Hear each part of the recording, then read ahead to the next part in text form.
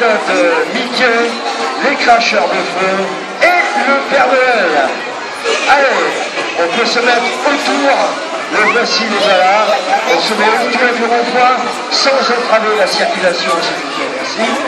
Et nous allons voir arriver sur la place de la mairie, Mickey et ses amis, le cracheur de feu et bien sûr notre ami, notre grand copain.